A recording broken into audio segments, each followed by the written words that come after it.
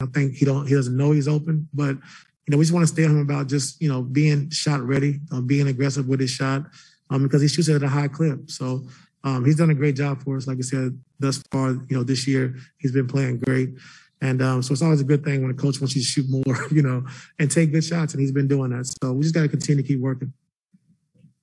Obviously, no Marcus tonight still, but we've only seen PG, Marcus, and Nico play five minutes. It's the second game of the season.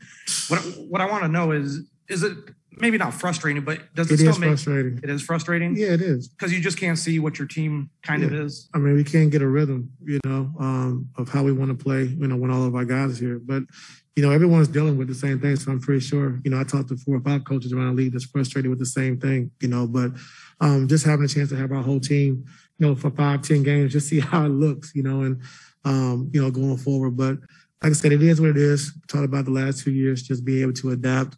Um, and we've done that, but it is frustrating. How do you personally deal with like that frustration? Because I know you said you've talked to coaches who are also frustrated, but like, how do you personally deal with it?